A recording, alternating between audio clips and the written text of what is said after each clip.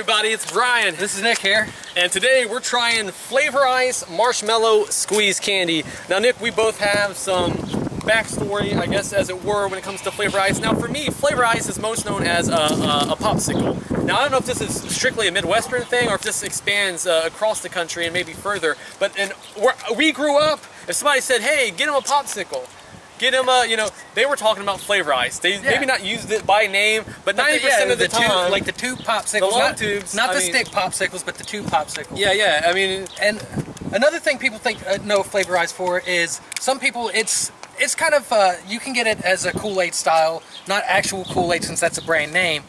And something a lot of people actually get confused with is uh, there was a cult leader back in the day. His name was Jim Jones, and oh, he was yeah. the uh, he was the guy who ran that Jonestown. which uh, you know is basically is a cult. So just this guy with a lot of crazy ideas, and you know, people to follow him.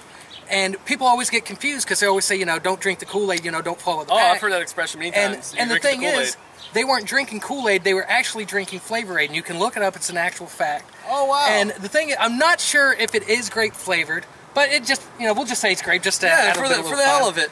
But um, I do um, remember when I saw that for the first time, I did, I did find that a little interesting side note. Now, this comes in four different flavor varieties. I chose grape just kind of on a whim, something a little bit different. Um, the packaging is interesting. Um, there's purple marshmallows. It is a marshmallow squeeze candy, so you've got kind of a nice hue, kind of violet, um, and you've got these really kind of succulent looking grapes. So whoever worked on the, the package design, graphic design, thumbs up, you know, your college money was well spent. Um, the other weird thing though, Nick, and I'm kind of, maybe it seems like yeah. I'm putting off tasting this, but the texture of this is is super unique and weird. It's marshmallowy, but it's also very moist. It looks like it's alive inside there. It's yeah. very hard to kind of explain. Maybe if I can, you can hear it kind of, oh my God. It looks like a bad decision. I'm gonna, this might be the money shot, uh, but we're gonna meet our friend here in a second. Oh, oh it's wow. like pulsating. It smells, it looks like pre-chewed gum. Yeah, it does. oh, that texture is... Oh, man.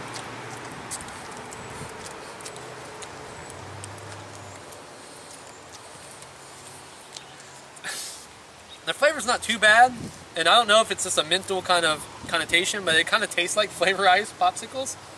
Like I can kind of, maybe that's a mental kind of connection, but that texture you know, is so weird. It's just, and I gotta say this, because I don't know how long this has been sitting in your trunk, but maybe just for the day. But, and one thing people don't know, for the past week, it's been like 85, 90 degrees. It's been hot as hell.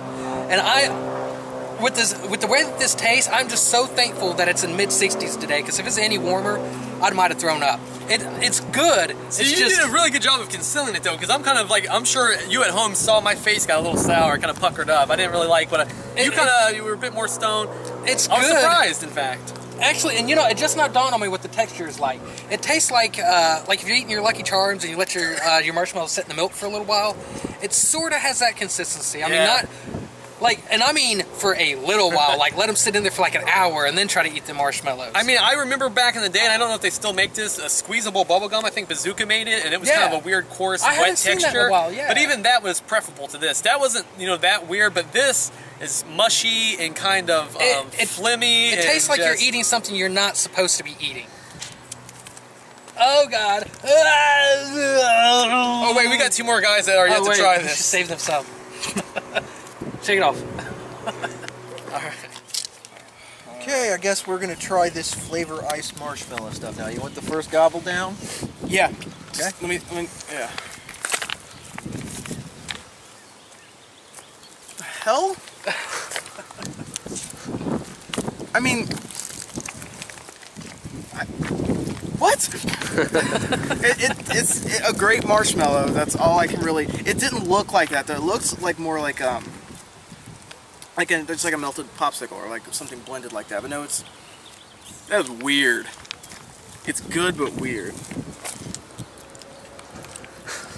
Okay, this this is like going to the dentist and having grape fluoride put in your mouth. Only wow. it's not going to make you sick. Hopefully, I don't mind it.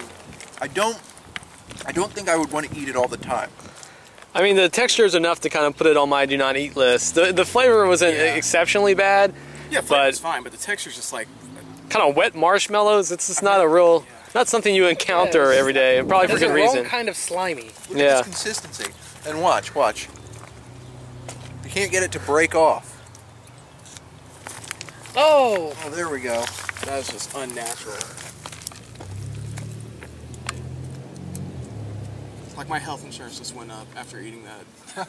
Hey, what's up everybody? It's Brian, and today I was at the Fresh Market and I found this! Oh my god! It's like a mutant muffin. It's so green. I mean, Owen, come on in here, buddy. Come try this out. Um, and, you know, I, just on looks alone, I had to buy it instantly. I thought of Mutagen, like the Ninja Turtles. I thought about the Toxic Avenger, the Swamp Thing, all those great green things. Actually, I also think of Sesame Street for some reason when I see this. I don't know. Hey, Owen, do you want to try a green muffin? Owen, what color is this? well, we'll we'll see if he's a fan. Now, it, it actually does have a, a name, a flavor. This is, um, uh, this is the, the uh, pistachio muffin. Um, I like pistachio just about anything. I mean, regular pistachios are good. Um, pistachio ice cream's good. Uh, where do you even start on this thing? God, it's so in the center. It's just like unreal how green it is. Ooh, it smells good. Really fragrant. Owen, you want to try a green muffin? You like it? Uh, he seems conflicted. He's more of a fan of fresh fruit, so I, I can't knock him for that. What'd you find? A peach? This is good. It's so bizarre. I don't think I could recommend recommend it to just anyone. I mean, you have to really probably like pistachios because this is definitely um, unique.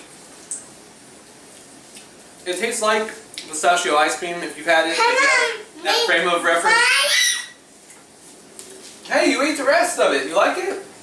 You want one more? Alright, this kid's got good taste. Alright, thanks for watching.